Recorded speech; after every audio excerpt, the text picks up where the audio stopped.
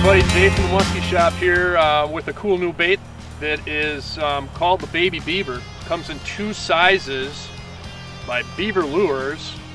Here's the big one here.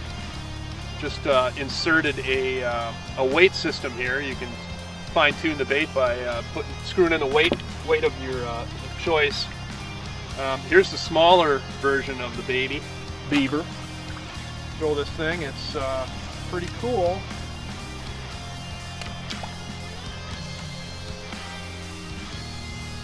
It's got a big paddle tail.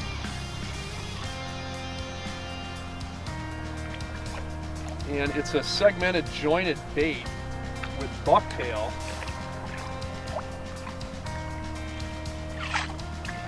And it's got kind of a, it's going to sink slowly without any weight on it. So really all you can do to get it going nice is just give it short taps or pulses with the rod kind of a herky-jerky type action. You can certainly reel it in straight. If you add some weight, you can crank it in faster. A lot of good catches on this thing this year. guy's been making a ton of them for us. It's Beaver Lures, uh, Baby Beaver series. This is the smaller of the two version here. And uh, this is available at uh, muskyshop.com in the jerkbait section.